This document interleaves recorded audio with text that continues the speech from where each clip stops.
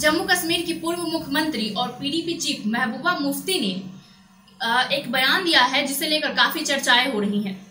आपको बता दें कि उन्होंने तालिबान को लेकर केंद्र पर निशाना साधते हुए, तालिबान के बहाने केंद्र पर निशाना साधा है और उस बहाने उन्होंने निशाना साधते हुए कहा है कि जिस असंवैधानिक तरीके से भारत ने जम्मू कश्मीर को अपनाया है और अपने कब्जे में किया है तो वो जितनी जल्दी हो सके वो हमें वापस कर दे। नहीं तो हमारे अगर सब्र का इम्तिहान टूटा तो हालत बहुत बुरा होगा और ऐसा, जैसा तालिबान में हो रहा है, बिल्कुल वैसा ही भारत का हालत हो जाएगा। जैसा तालिबानी लोग कर रहे हैं अफ़गानिस्तान के साथ, वैसा ही हालत भारत का हो सकता है। आपको बता दें कि उनके इस बयान के बाद काफ़ी ज़्यादा चर्चाएँ होने लगी। कई लोग उनके खिलाफ बोलने लगे। ऐसे में बीजेपी के कार्यकर्ता भी सामने आए और उन्होंने भी एक ट्वीट किया और ट्वीट के ज़रिए उन्होंने कहा कि अगर हिंदू लोग सामने आ जाए तो। उन्होंने बस इतना ही ट्वीट किया था कि अगर हिंदू लोग सामने आ जाए तो।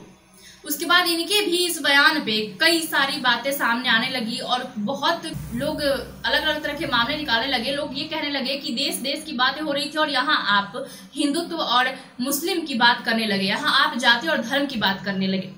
आपको बता दें कि महबूबा मुफ्ती के इसी तर्क तेवर के जवाब में बीजेपी सांसद सुब्रमण्यम स्वामी ने सवाल पूछा है कि अगर हिंदू अपना आपा खो दे तो?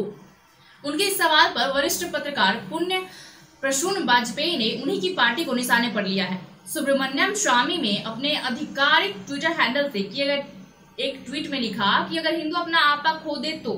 उनके इस ट्वीट को रिट्वीट करते हुए पुण्य प्रसून वाजपेयी ने उन्हें जवाब दिया, तब बीजेपी की हिंदुत्व की राजनीति खत्म हो जाएगी।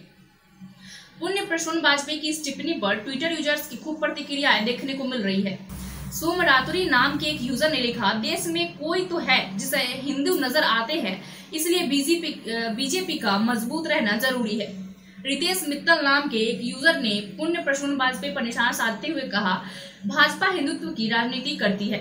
कवि का ऐसा कहना है, बाकी संपूर्ण विपक्ष जो अल्पसंख्यकों की राजनीति करता है, वो सेक्युलरिज्म है। एपी नाम के एक यूज़र ने लिखा बीजेपी नहीं, बल्कि कांग्रेस और इसके एजेंट्स जल्द ही खत्म हो जाएँगे। दीपक सलूजा नाम के एक यूज़र लिखते हैं, तब सिर्फ़ क्रांतिकारी, बहुत क्रांतिकारी बचेंगे। कर्म योगी नाम के एक यूज़र ने लिखा, बीजेपी हिंदुत्व की राजनीति करती है और कांग्रेस बाटला हाउस एनकाउंटर में आँसू बहाती है। आपकी जानकारी के लिए बता दें कि महबूबा मुफ्ती के बयान की बात करें तो कुलगांव में एक सभा को संबोधित करते हुए बीडीपी चीफ ने कहा कि अफ़गानिस्तान में तालिबान ने अमेरिका को भगाने के लिए मजबूर किया है। मैं तालिबान से अपील करती हूँ कि ऐसा कोई काम न करे जिससे दुनिया उनके खिलाफ हो। उन्होंने कहा कि अगर केंद्र सरकार जम्मू कश्मीर में शांति चाहती है तो उसे आर्टिकल 370 बहाल करना होगा और बातचीत से कश्मीर मुद्दे को हल करना होगा। ऐसी तमाम खबरों के लिए बने रहे एशिया न्यूज़ इंडिया के साथ, रांची।